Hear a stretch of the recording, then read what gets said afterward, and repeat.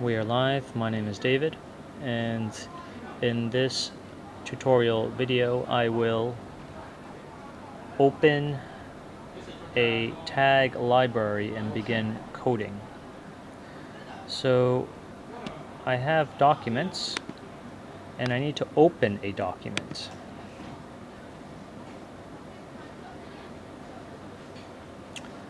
When I open a document, I do not have any tag sets or tag type colors.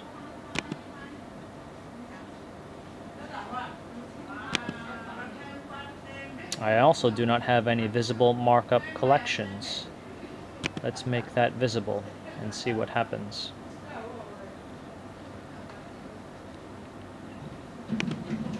Go to active tag sets. I need to open a tag set.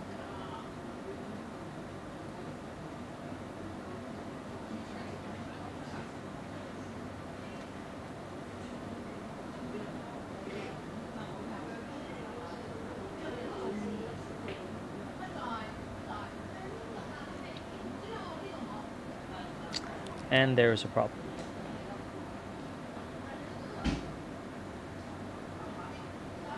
Let's try it one more time. Open tag set.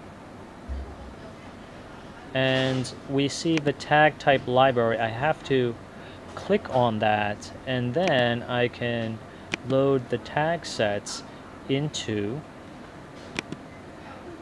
the active document.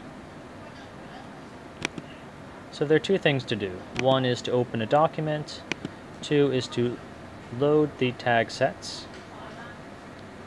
And three, ensure that the coding is being saved.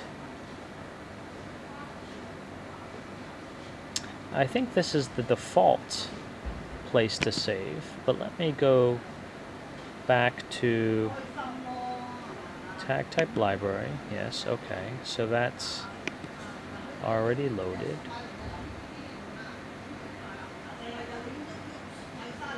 Uh, so that's another way to load the tag sets into currently active documents. There are two ways to load tag sets into an opened or active document. Okay, so we go to the tagger.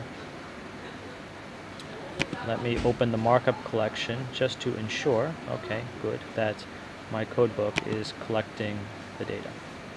So that's it for opening a document, making it active, and then loading uh, tag sets so that I can begin coding with these tag sets.